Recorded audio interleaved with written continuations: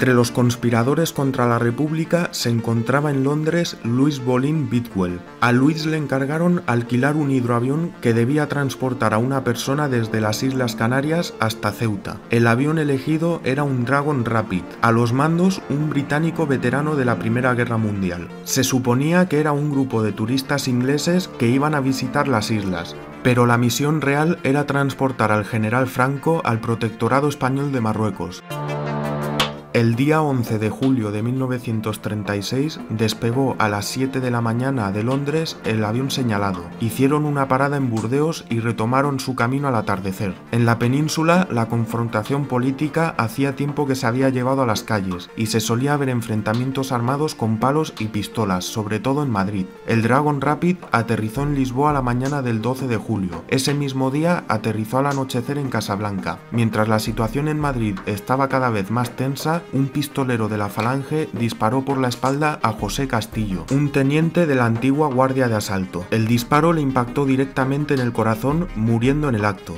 Los compañeros del difunto teniente decidieron vengarse esa misma noche, asesinando a algún derechista. Eligieron al líder monárquico Goicochea. Al mando de la operación se encontraba el capitán de la Guardia Civil Fernando Condes Romero, que vestía de paisano. Se dirigieron al domicilio de Antonio Goicochea, pero no se lo encontraron allí. Entonces buscaron a Gil Robles, pero tampoco lo encontraron. Un guardia recordó que por la zona vivía también Calvo Sotelo. Viva la quinta brigada, rumba la rumba la rumba la. José Calvo Sotelo se encontraba en su casa junto a su mujer y sus cuatro hijos de entre 9 y 14 años. El capitán de la Guardia Civil despertó de madrugada a Calvo Sotelo y dijo venir a realizar un registro. ¿Qué desean ustedes? Hacer un registro por orden de la Dirección General de Seguridad. ¿Un registro a estas horas? Tras no encontrar nada en el registro, le detuvieron sin justificación y lo llevaron en la camioneta. Al poco, un guardia le pegó un tiro en la cabeza y para asegurarse le pegó otro. Los asesinos llevaron el cuerpo al cementerio y dijeron habérselo encontrado así en la calle.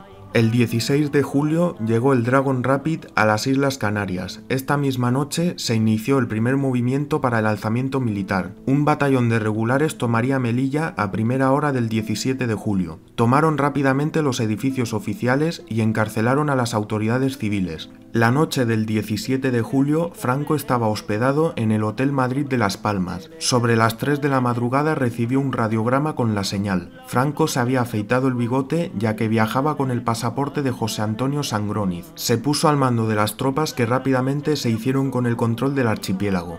Por la mañana su familia salió en un barco con dirección a Francia y a mediodía se dirigió al aeródromo. Salieron inmediatamente hacia Agadir, donde repostaron y continuaron hasta Casablanca. Allí pasaron la noche y el día 19 despegó de nuevo con el Dragon Rapid antes del amanecer. Por la mañana llegaron al aeropuerto de Tetuán. Franco no se fiaba y ordenó al veterano piloto realizar una pasada volando bajo a ver quién había en el aeropuerto vio a un grupo de legionarios esperando y confirmó que estaba en manos de los rebeldes. Aterrizó en Tetuán y horas después se encontraba en Ceuta reuniéndose con los jefes del golpe de Estado. Todos coincidían en que había que transportar las tropas a la península. El 18 de julio se habían alzado los militares en Sevilla. Queipo de Llanos se hizo con la ciudad tras horas de tiroteos. Se implantó la ley marcial y al día siguiente comenzaron a llegar legionarios en el primer puente aéreo de la historia. No eran muchos los que llegaban, pero sí suficientes para hacer frente a los milicianos de los barrios obreros al norte de la ciudad.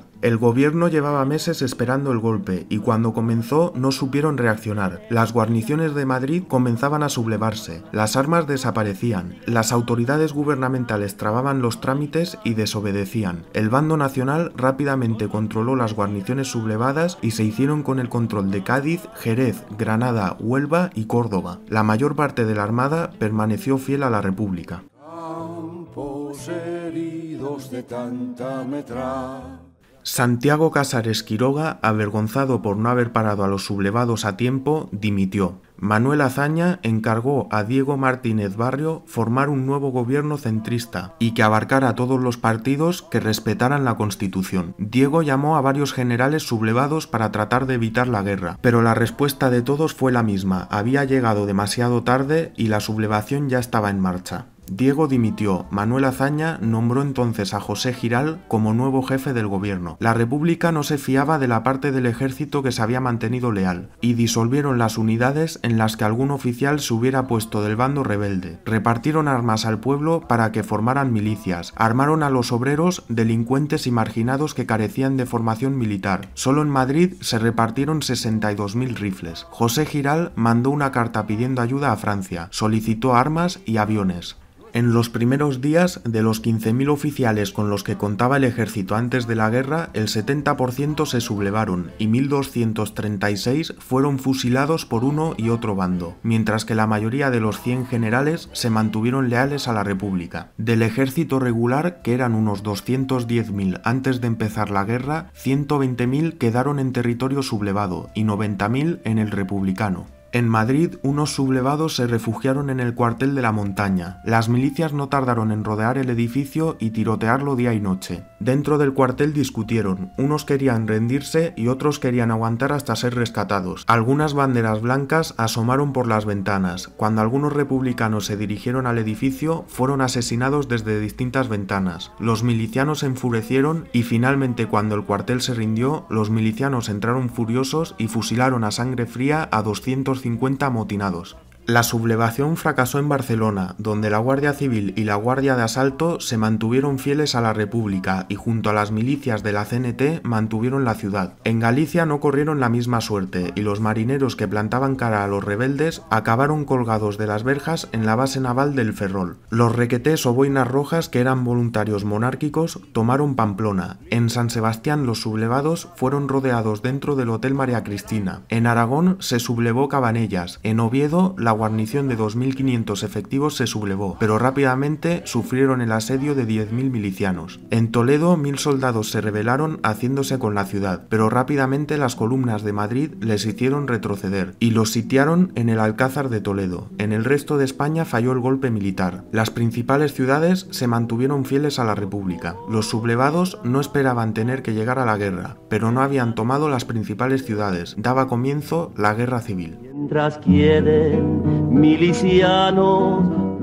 los rebeldes tenían una mala situación, pero les quedaba una esperanza. Contaban con el ejército de África, la élite del ejército español, 40.000 soldados veteranos de las guerras de Marruecos, pero la República controlaba el mar y no podían hacerlos cruzar a la península. Franco mandó a Luis Antonio Bolín a comprar 12 bombarderos y 3 cazas a Inglaterra, Italia o Alemania. El 20 de julio, José Sanjurjo, que estaba exiliado en Portugal, se dirigió a Burgos para encabezar el alzamiento militar. Su asistente arrastraba como podía la abultada maleta. El piloto advirtió el peligro de un accidente con tanto peso, pero Sanjurjo se negó a ir sin la maleta. No quería llegar a Burgos sin los trajes y condecoraciones militares. La avioneta cogió velocidad y se elevaba en la corta pista. Casi lo consiguieron, pero las ruedas dieron con la copa de un árbol. El avión descontrolado perdía altura y el piloto trató de realizar un aterrizaje forzoso. Se estrellaron contra una piedra y el avión estalló incendiándose. Sanjurjo murió en el acto. El piloto logró sobrevivir con importantes quemaduras. Con Sanjurjo muerto, los sublevados quedaron descabezados, pero el golpe siguió en marcha. Franco, Queipo de Llano y Mola